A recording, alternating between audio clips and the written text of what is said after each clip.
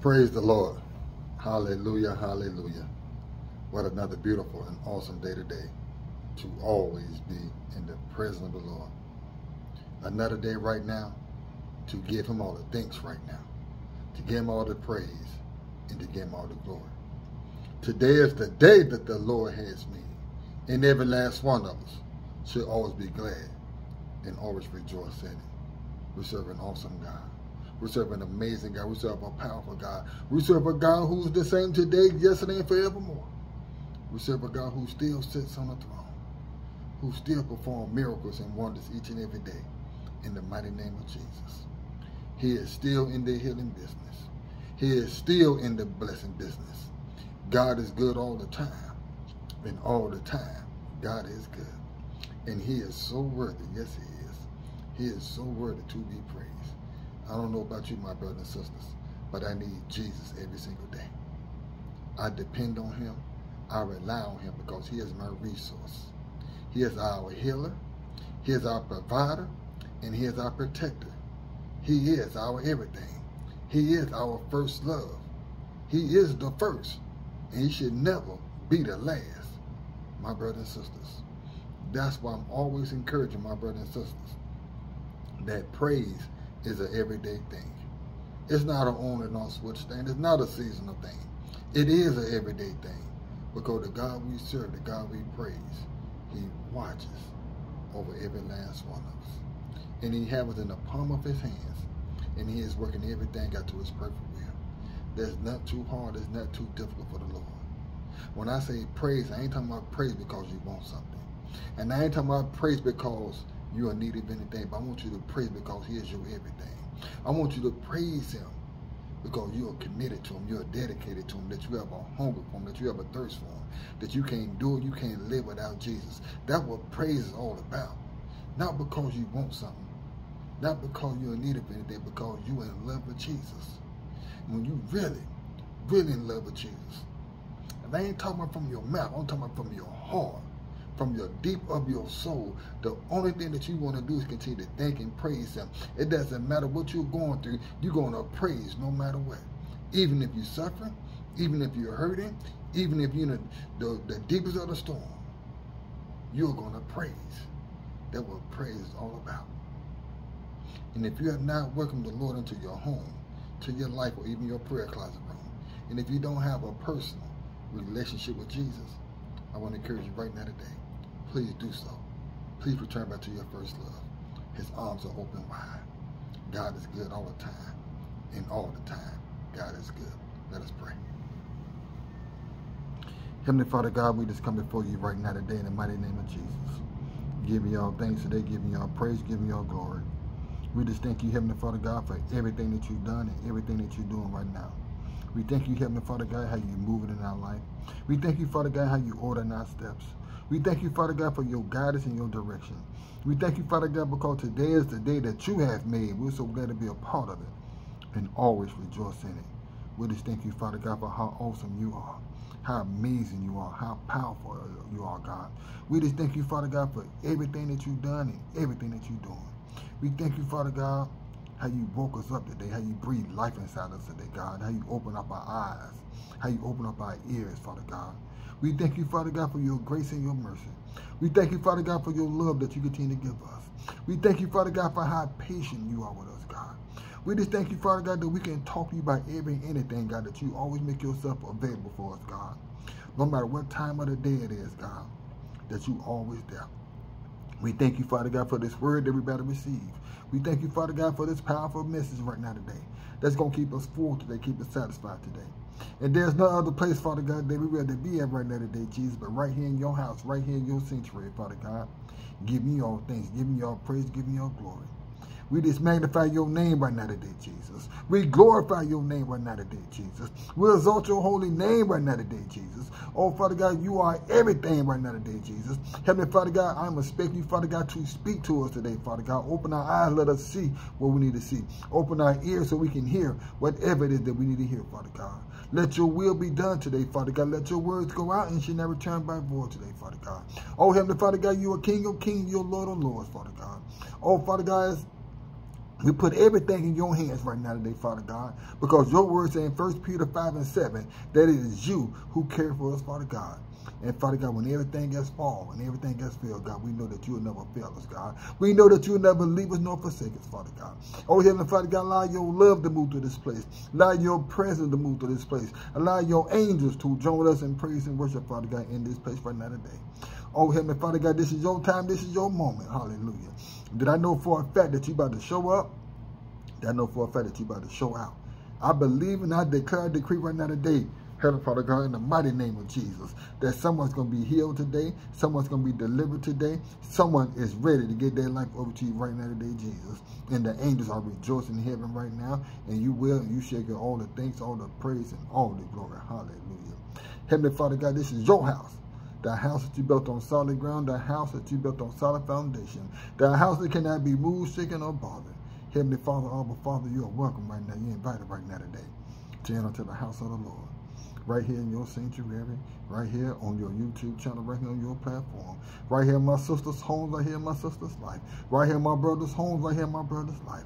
Heavenly Father God, I'm asking you right now today, Father God, for you to do a new thing in my brother and sister's life right now today. I'm asking you right now today, Father God, to move supernaturally in their finances right now, in their health right now, in their dreams right now, in their business right now, in their homes right now, in their marriages right now, in their relationships right now, in their neighborhoods right now, in their jobs right now, with their children right now. Oh, Heavenly Father God, it's not too hard, it's not too difficult for you, Father God.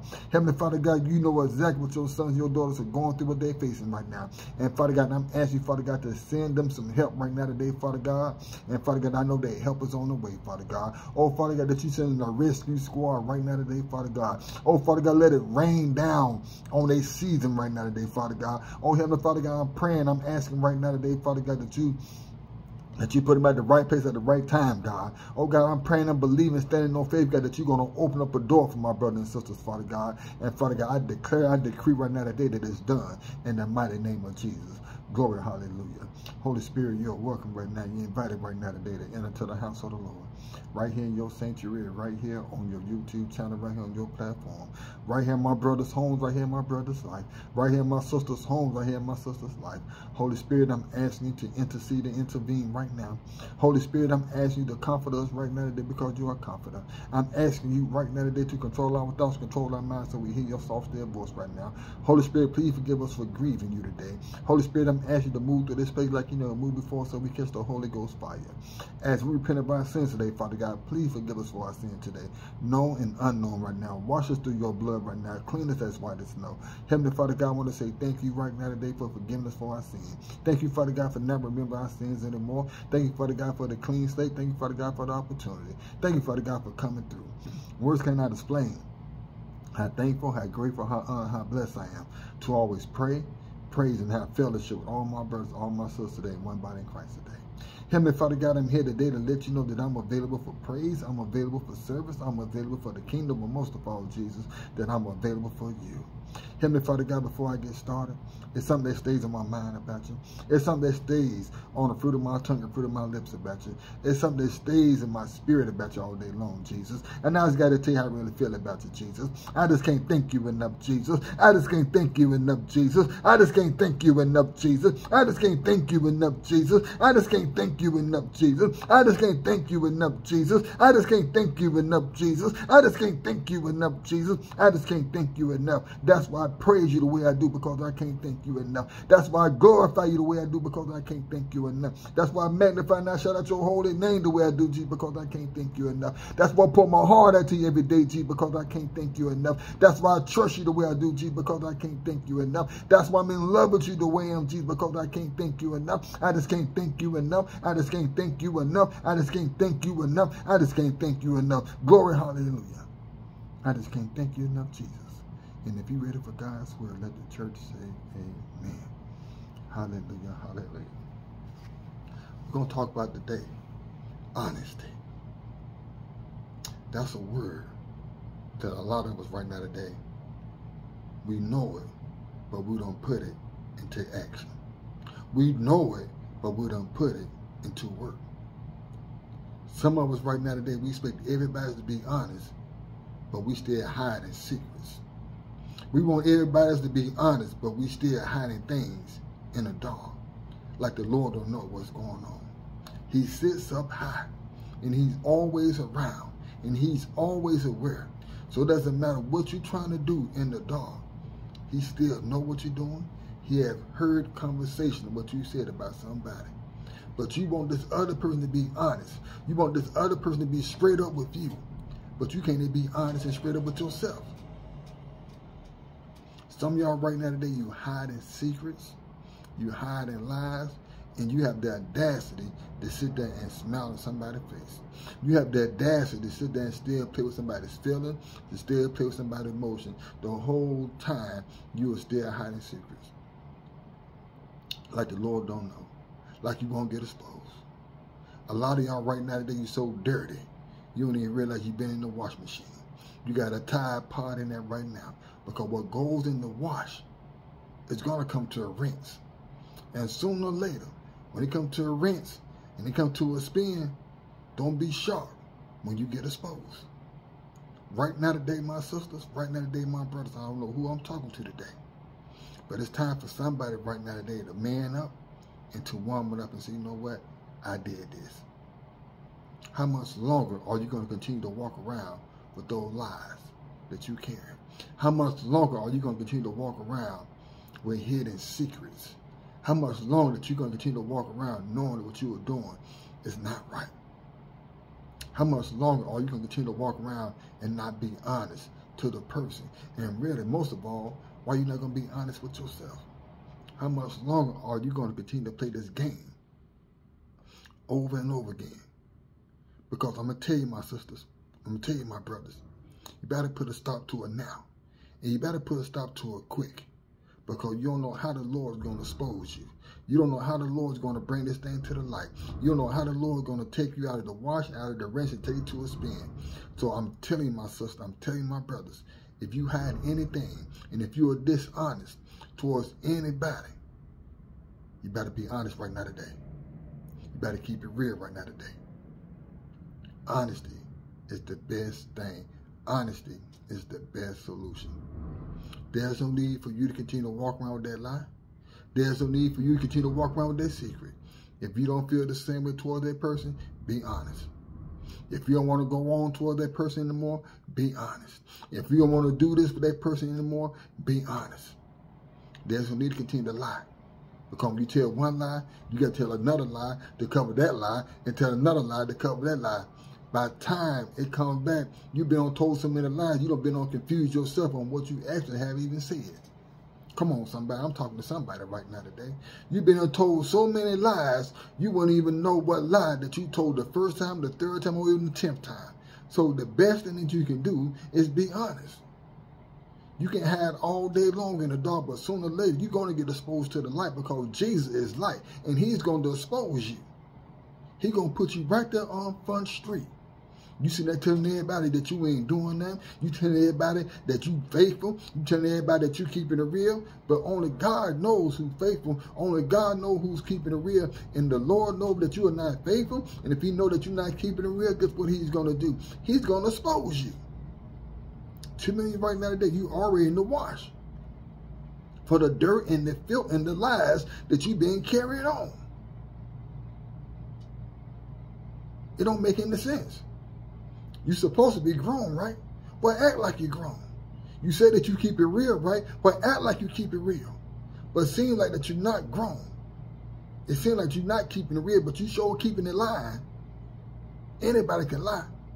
But why lie you can just be honest? Why lie you can keep it real? Why lie when you can just tell the truth from the beginning? You ain't gotta let this stuff carry on. You ain't gotta you ain't gotta let this thing linger on any farther that you have allowed it to linger on, my brother and sister. You can put a stop, you can put an end to it right now just by being honest and telling the truth. You'll feel so much better by telling the truth. You'll feel so much better just by being honest towards the whole thing. So you ain't gotta walk around acting like that you walking on eggshells. Like, oh, I'm gonna get caught today if I'm going to get exposed today, you shouldn't have to feel that way. If you're honest, just go and keep it real. Just tell the truth for what it is. I'm ready for somebody to be honest with me instead of sitting there telling me a lie. I'm ready for you to tell me the truth instead of telling me a lie. Because when you get exposed, that's going to make me look at you different. That's going to make me look at you funny. It doesn't matter what you ever try to say to me. I never will believe you ever again. I'd rather for you to keep it real and just tell me how you really feel and how you really think about me from Jump Street. We ain't got to go on about this no more. We can settle this right now.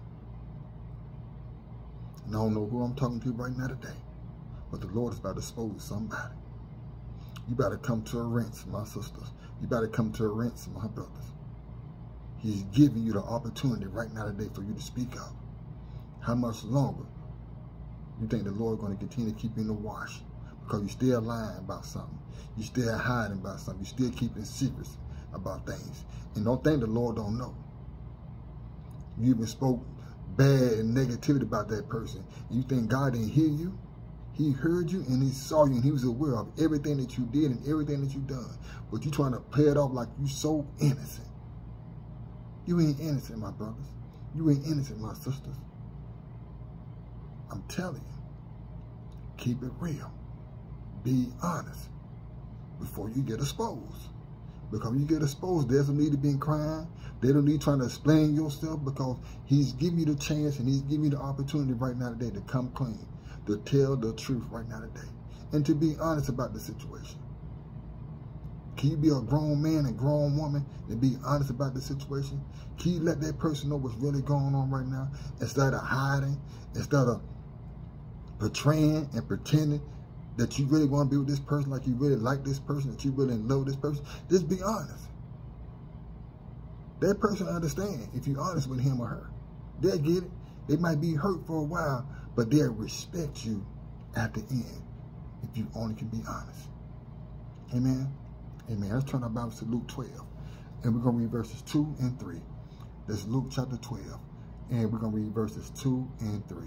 And if you have your Bibles open, let the church say amen. Glory be to God. There's nothing concealed that would not be disclosed.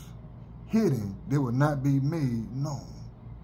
What you have said in the dark will be heard in the daylight and, we, and, what, and what you have whispered in the ear in the inner rooms will be proclaimed from the roof. There is nothing concealed that would not be disclosed. Nothing at all. He can hit even some of the smallest crack. Mm -mm -mm. Or hidden that would not be made known. What you have said in the dark will be heard in the daylight. Even you whispering the dark, God's still to whisper it out loud in the daylight so that person can hear everything word for word. And the Lord's not to miss a beat. He's not to miss a sound. You better believe it. And what you have and what you have whispered in the ear, in the inner rooms, will be, will be proclaimed from the roof, even that you whispered. Even if you mumbled it, the Lord still heard it. He still picked it up vibration by vibration, sound by sound, and it will get exposed. The point I'm making right now today to somebody, can you be honest? Can you tell the truth? Can you keep it real? Right now, you have the chance right now. Right now, you have an opportunity right now today to be honest with somebody. Get it off your chest right now. Get it off your chest, get it off your mind. Get it off your spirit because it's weighing you down. And you know exactly who I'm talking to today. It's time for you to be honest. It's time for you to go ahead and speak up. Because you've been, you've been carrying that lie. You've been carrying that secret for quite some time. You've been spoke ill will towards some person. And you got that to smile in that person's face.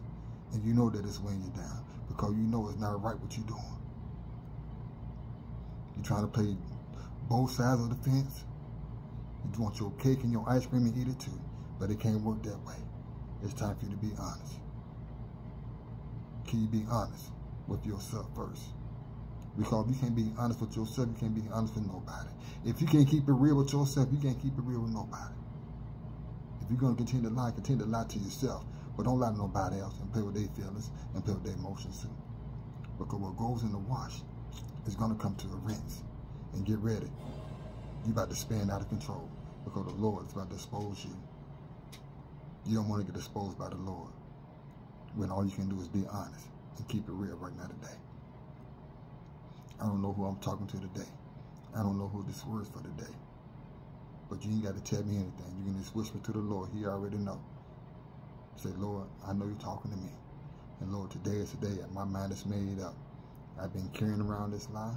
I've been dishonest. Today is the day I got to be honest with myself. I got to keep it real with myself. And I also got to be honest toward this other person. And I got to tell this other person the truth. I cannot continue to lie. I cannot continue to carry on anymore like this. It's weighing me down. And you know who you are. It's weighing you down. And you know it's weighing you down. And if this word moved through today and it touched your spirit today, go and hit Jesus like button. Go and hit the subscribe button too as well. Can you please pray with me? Lord Jesus, I ask of you to come into our life, to guide us, direct us, use us. I believe right now today in the mighty name of Jesus. By us praying that simple little prayer that God is already working everything God in our life right now today. And if you ever want to get in contact with me leave me a comment, my YouTube channel is withers.lt. Always keep Jesus first place. Always seek him. Always honor him. Always keep your eyes focused on Jesus because he is the author and the perfecter of your faith. Continue to trust him even though you don't see things happening. Continue to hold on to his unchangeable hands and please do not let it go. Continue to pick up your crosses and follow Jesus. Choose faith over fear. Always continue to pray for your fellow brothers and sisters. It doesn't matter if you know them. It doesn't matter if you ever seen their face. Prayer help and prayer changes things. I'm always going to continue to keep y'all in prayer, my brothers and sisters. The only thing that I ask y'all guys to do for me is continue to keep me in prayer and keep me lifted up too. I'm serving Minister LT. I love y'all. Stay blessed. In Jesus' glory, holy mighty name. I love y'all so much. Amen.